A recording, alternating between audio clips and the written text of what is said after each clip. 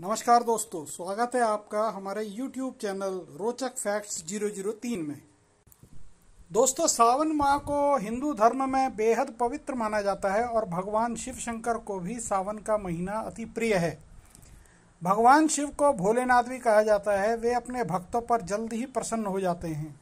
देवता हों, असुर हों या इंसान हों, भगवान महादेव ने सभी पर अपनी कृपा बरसाई है।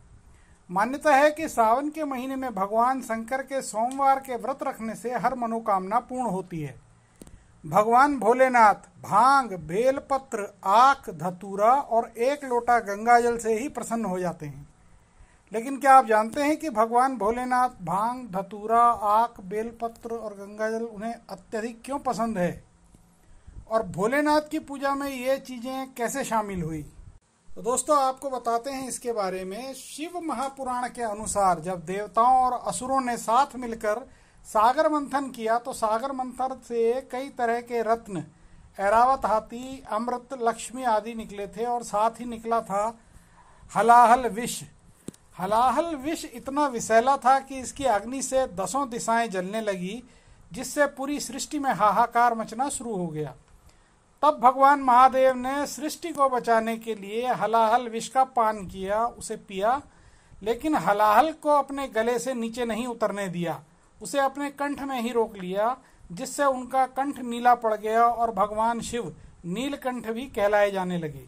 हलाहल विष का प्रभाव भगवान महादेव के मस्तिष्क पर चढ़ने लगा, जिसकी वजह से भगवान शिव अचेत अवस्था में आ गए। भगवान शिव को अचेत देखकर हर तरफ़ हाहाकार मच गया। देवी भागवत पुराण में यह वर्णन है कि इस स्थिति से भगवान भोलेनाथ को निकालने के लिए आदि शक्ति स्वयं प्रकट हुई और भगवान शिव का कई जड़ी बूटियों और जल से उपचार शुरू किया।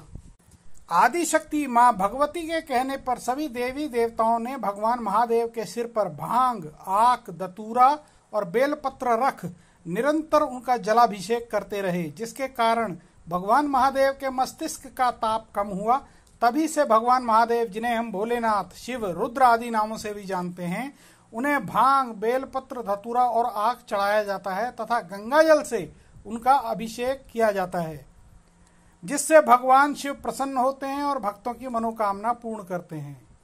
तो दोस्तों, ये जानकारी आपको कैसी लगी, आप हमारे चैनल को सब्सक्राइब करें, लाइक करें, बेल आइकन की घंटी प्रेस करें और अपने दोस्तों के साथ इसे शेयर अवश्य करें। आपका कीमती समय हमें देने के लिए धन्यवाद। नमस्कार।